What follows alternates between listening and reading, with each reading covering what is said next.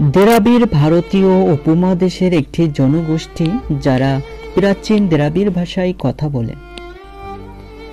প্রায় চার হাজার বছর আগ থেকে এই ভাষাভাষী মানুষ এই অঞ্চলে বাস করে আছে। ধারণা করা হয় এরাই হরপ্পা ও মাহেঞ্জোদারো সভ্যতার রূপকার ছিলেন। এদের গায়ের রং কালো, গড় উচ্চতা মাঝারি। নিগ্রো এদের মতো এদের ঠোঁট মোটা নয়। মাথা গোলাকার, চুল ঢেউ খেলানো বা মোটামুটি সপট। তবে মঙ্গোলীয়দের মতো শটান নয়। নাকের উচ্চতা মাঝারি, চোখ বড়, চোখের মনি কালো বা ঘোলাটে কালো হয়। দক্ষিণ ভারতের বেশিরভাগ জনগোষ্ঠী দ্রাবিড়। আদি বসবাসকারী জনগোষ্ঠী হিসাবে দ্রাবিড় জনগণকে ভারত, পাকিস্তান, আফগানিস্তান, নেপাল, মালদ্বীপ, বাংলাদেশ এবং শ্রীলঙ্কায় দেখতে পাওয়া যায়। দ্রাবিড় জাতি বলতে মূলত কোনো নরগোষ্ঠী বোঝায় না।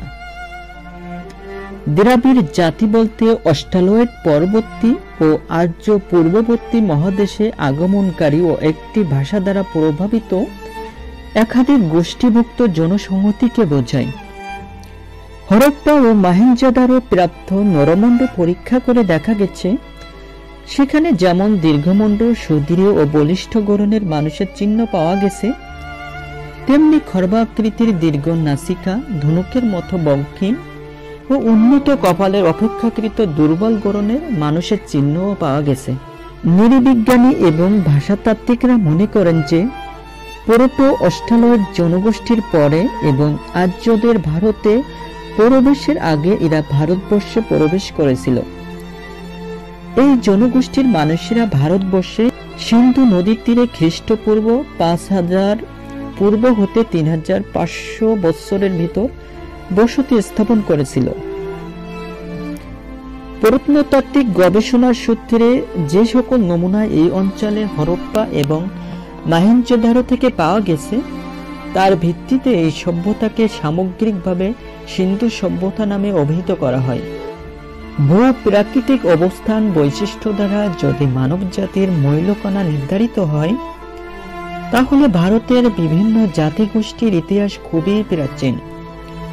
এ প্রাচীনতম জনগোষ্ঠীর ক্রম বিবর্তনের ইতিহাসও খুবই প্রাচীন। দ্রাবিড়রা নগর সভ্যতার পত্তন করে। সিন্ধু উপত্যকায় দ্রাবিড়দের তৈরি প্রায় হাজার খানেক নগর ও বসতি আবিষ্কৃত হয়েছে। ধারণা করা হয় পাঞ্জাবে অবস্থিত হরপ্পা নগরী, যেটা বর্তমানে লাহোর থেকে প্রায় একশো বিশ মাইল দক্ষিণ পশ্চিমে অবস্থিত। হরপ্পা নগরীতে প্রায় চল্লিশ হাজার এবং সিন্ধু প্রদেশের অন্তর্গত এবং সিন্ধু নদী তীরবর্তী মহেঞ্জোদারোতে, যেটি বর্তমানে করাচি থেকে প্রায় দুইশো মাইল উত্তর পূর্বে সেখানে প্রায় পঁয়ত্রিশ হাজার লোক বাস করত। দুটি নগরী প্রায় একই ধরনের পরিকল্পনায় নির্মিত। সেখানে সারিবদ্ধভাবে দোতলা বাড়ি, কক্ষ সংলগ্ন বাথরুম, পয় নিষ্কাশনের ব্যবস্থা, জনপদ, গুদামঘর, প্রার্থনাগৃহ, বাজার বড় কূপ আলকাতরার প্রলেপ দিয়ে পানি নিরোধের ব্যবস্থা, সুইমিং পুল ও গণ শৌচাগারের ব্যবস্থা ছিল। তাদের বাড়ির ঘরগুলো দুর্গন্ধ, শব্দ ও চোরের উৎপাত থেকে মুক্ত রাখার কৌশল অবলম্বন করে ইটের দ্বারা তৈরি করা হয়েছিল। তারা ওজন ও পরিমাপের একক জানত এবং বিভিন্ন বিষয়ে বিভিন্ন সিলমোহর ব্যবহার করার কৌশলও আয়ত্ত করেছিল।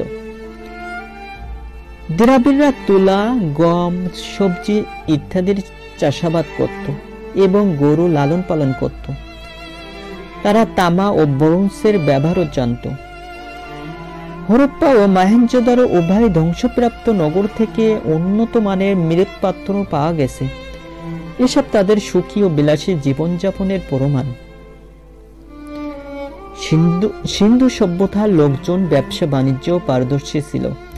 তাদের বাণিজ্য মিশর পর্যন্ত বিস্তৃত ছিল। এই সিন্ধু সভ্যতা খ্রিস্টপূর্ব তিন হাজার তিনশো সালে শুরু হয়ে খ্রিস্টপূর্ব এক হাজার ছয়শো সালে সমাপ্ত হয়। সিন্ধু সভ্যতা ধ্বংসের কারণ হিসেবে বিভিন্ন ভিন্ন ভিন্ন মত রয়েছে।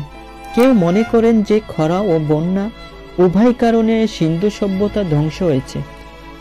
তবে জনপ্রিয় মতবাদ হচ্ছে যে আর্যরা যাযাবরের জীবনযাপন করত। তারা নগর জীবনে আভ্যস্ত ছিল না। আর্যরা নগর জীবনের গুরুত্ব উপলব্ধি না করায় তারা এসব অঞ্চল করায়ত্ত করার সময় ব্যাপক ধ্বংসলীলা চালায় এবং দ্রাবিড়রা আত্মরক্ষার্থে কুরুমন্যায় দক্ষিণ ভারতে আচ্ছাড়াই গ্রহণ করে, সেখানে নিজেদেরকে প্রতিষ্ঠিত করে। সিন্ধু সভ্যতা ধ্বংসের জন্য ঐতিহাসিকগণ আর্যদেরকে দায়ী করেন। ফ্রেড ফ্রাঙ্কলিং তার হিস্টোরিস টাইমলাইন গ্রন্থে উল্লেখ করেছে খ্রিস্টপূর্ব এক হাজার পাঁচশো অব্দে উত্তর পশ্চিম থেকে আসা আর্যদের আক্রমণে এই সভ্যতা ধ্বংস হয়ে যায়। দ্রাবিড়রা অবশ্য প্রায় হাজার বছর আর্য জাতিকে প্রতিরোধ করে। পরাজয় বরণ করলেও দ্রাবিড়দের উন্নত সভ্যতা ও সংস্কৃতি আর্যদেরকে অনেকাংশে প্রভাবিত করে। অনেক দ্রাবিড় দেবতা যাদেরকে আর্যরা অসুর বলে হেলা করত। কালক্রমে তারাও আর্যদের আরাধ্য দেবদেবীর স্থানে সমাসীন হয়।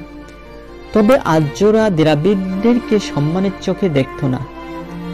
দ্রাবিড়রা পরাজিত হলে আর্যরা তাদের অনেককে দাস, দাসী হিসাবে ব্যবহার করে এবং চারটি শ্রেণীতে লোকদেরকে বিভাজন করে নিজেরা উচ্চ শ্রেণীতে আসন নিয়ে দ্রাবিড়দেরকে শুদ্র বা নিম্নতম শ্রেণীতে নিক্ষেপ করে। তবে আর্য সমাজপতিদের বিধানের বাইরেও আর্যদের সাথে দ্রাবিড়দের রক্ত সম্পর্কিত সম্পর্ক স্থাপিত হয় এবং অতি ধীরে একটি মিশেলের আয়োজন চলতে থাকে। এই মিশেল শুধু নারী পুরুষের নয়, ভাব, ভাষা, সভ্যতা ও সংস্কৃতিও অল্প বিস্তার প্রভাব বিস্তার করে। পক্ষান্তরে দ্রাবিড়রা যেসব জায়গায় আচ্ছাড়াই গ্রহণ করে, সেখানে তাদের অস্ট্রিক জাতির সাথে সম্মেলন হয়। এ সম্মিলনের মধ্য দিয়ে দ্রাবিড় সমাজ ও অস্ট্রিক জাতির পারস্পরিক ভাব বিনিময় ও মেলামেশায় সংকরায়নের বিক্রয় শুরু হয়। উপমহাদেশের বিভিন্ন জাতি এই সম্মিলনেই উপমহাদেশবাসীর একটি বড় বৈশিষ্ট্য।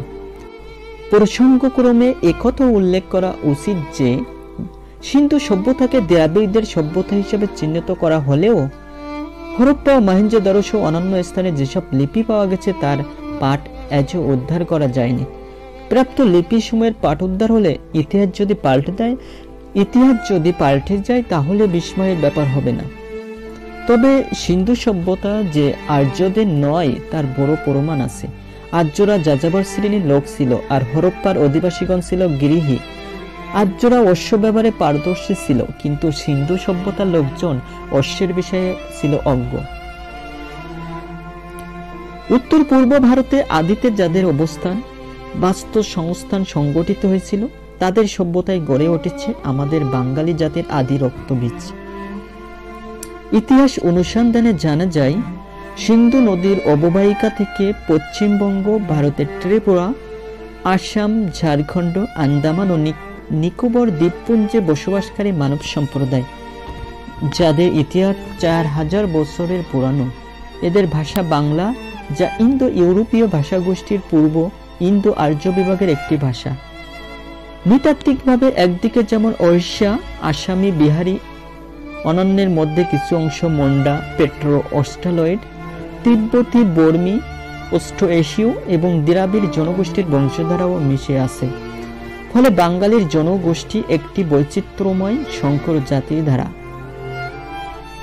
বাংলার প্রাচীন ইতিহাসে মৌলিক জাতি কারা? এর নৃতাত্ত্বিক ইতিহাস খোঁজ নিলে প্রথমে তাদের নাম আছে তারা অস্ট্রিক দ্রাবিড় ভাষাগোষ্ঠী। আদি দ্রাবিড় ধর্ম হিন্দু ধর্মের এক প্রাক বৈদিক রূপ প্রবর্তন করেছিল। দ্রাবিড় জনগোষ্ঠীর বর্তমান বাসস্থান দক্ষিণ ভারত। তাদের কবরস্থানের যে কঙ্কাল পাওয়া যায়, তার সঙ্গে ভূমধ্য সাগরীয় নরগোষ্ঠী মিল পাওয়া যায়। মিশরীয়দের সাথে দ্রাবিড়দের নৃতাত্ত্বিক মিল খুঁজে পাওয়া যায়। এসব কারণে দ্রাবিড় ভাষী জনগোষ্ঠীকে ভূমধ্য সাগরীয় জনগোষ্ঠীর মানুষ বলে মনে করা হয়ে থাকে। নৃতাত্ত্বিক বৈশিষ্ট্যের দিক থেকে দ্রাবিড়রা দীর্ঘ মুন্ড, নাক চওড়া, মোটা, ঠোঁট পুরু, মুখ চওড়া, মাংসল, শারীরিক গঠনের যেমন সমন্বয় নাই, গায়ের রং অনেকটা কৃষ্ণকায়। ঐতিহাসিক শ্রীনিবাস আইঙ্কা তিনি বলেছেন প্রাচীন দ্রাবিড়গণ বৈদিক আর্যদের অপেক্ষা সভ্যতায় কোনো অংশে হীন ছিল না। বরং বিষয় অবিশেষ আর্যগণ অপেক্ষা তারা অধিকতর উন্নত ছিল। বিজ্ঞানে, শিল্পে, যুদ্ধবিদ্যা ও বুদ্ধি কৌশলে তারা আর্যদের সম্যক প্রতিদ্বন্দ্বী ছিল। প্রাচীন ভারতে দ্রাবিড়রা তাদের কৃষিকর্মের পাশাপাশি মাছ শিকার করত।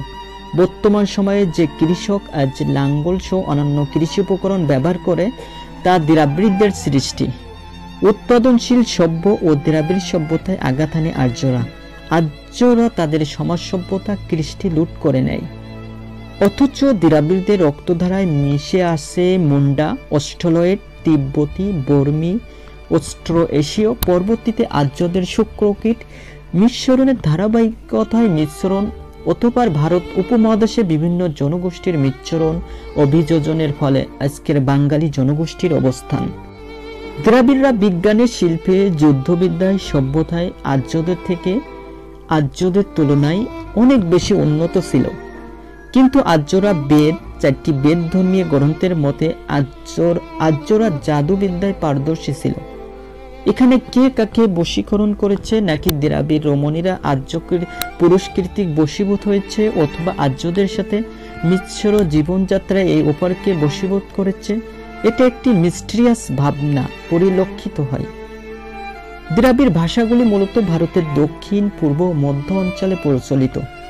ভারতের বাইরে শ্রীলঙ্কা এবং দক্ষিণ পূর্ব এশিয়া, প্রশান্ত মহাসাগর পূর্ব আফ্রিকা ও অন্যান্য প্রবাসী দ্রাবিড় সম্প্রদায় এগুলি পরিচালিত।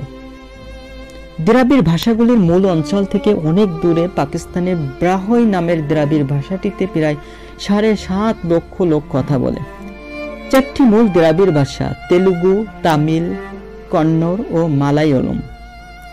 যথাক্রমে অন্ধ্রপ্রদেশ, তামিল নাড়ু কন্নড় কেরালা রাজ্যের সরকারি ভাষা। আদি দ্রাবিড় ধর্ম হিন্দু ধর্মের এক প্রাক বৈদিক রূপ প্রবর্তন করেছিল। এই রূপটি আধুনা আগমন অনুসারী। সম্ভবত ঐতিহাসিকভাবে এই ধর্ম আগমন অনুসারীরাই ছিল। আগম শাস্ত্রগুলি অবৈতিক উৎস থেকে উচ্চারিত। রচনাকালে নিরীক্ষে এগুলোকে হয় বেদ উত্তরকালীন গ্রন্থ অথবা প্রাক বৈদিক রচনা হিসেবে নির্দেশ করা হয়। আগম হল তামিল ও সংস্কৃতি ধর্মাবলীর একটি সংকলন। যেগুলোতে প্রধানত মন্দির ও মূর্তি নির্মাণের পদ্ধতি, দেবদেবীদের পূজা পদ্ধতি, দার্শনিক মতবাদ, ধ্যান অনুশীলন, ছয় প্রকার কামনার সিদ্ধ এবং চার প্রকার যোগ নিয়ে আলোচনা করা হয়েছে। হিন্দু ধর্মে অধিদেবতার পূজা, পবিত্র বৃক্ষ, প্রাণীর ধারণাগুলিকে প্রাক বৈদিক দ্রাবিড় ধর্মের উদ্ধতন হিসাবে স্বীকৃতি দেওয়া হয়? আদি বৈদিক ধর্মে দ্রাবিড় ভাষার প্রভাবেরও প্রমাণ পাওয়া যায়। এই বৈশিষ্ট্য এই বৈশিষ্ট্যগুলি প্রাচীনতম জ্ঞাত ইন্দো আর্য ভাষা। অর্থাৎ ঋগ্বেদের ভাষাতেই ইতিমধ্যে বর্তমান ছিল। ঋগ্বেদের ভাষায় বারোটির বেশি শব্দ দ্রাবিড় ভাষা থেকে ঋণকৃত খ্রিস্টপূর্ব এক হাজার পাঁচশো অব্দের পরে দ্রাবিড়রা আর্যদের দ্বারা ভারতবর্ষের পশ্চিম ও উত্তর অঞ্চল থেকে বিরাতে বিতাড়িত হয়ে দক্ষিণ ভারতে ব্যাপকভাবে প্রবেশ করেছিল। দক্ষিণ ভারতে আগে থেকে থাকা দ্রাবিড় ও বিতাড়িত দ্রাবিড়দের সমন্বয়ে একটি বিশাল জনগোষ্ঠীর সৃষ্টি হয়েছিল। পরবর্তী সময়ে আর্যরা এই বিশাল দ্রাবিড় অঞ্চলকে পদানত করতে পারেনি। কিন্তু ভারতের উত্তর ও পূর্ব অঞ্চলের মিশ্র জাতি গোষ্ঠীর নেগৃত পোরোটো অস্ট্রালয়েড দ্রাবিড় আরেকটি অংশ থেকেই গিয়েছিল। এদেরকে আর্যরা অনার্য হিসাবে অভিহিত করত।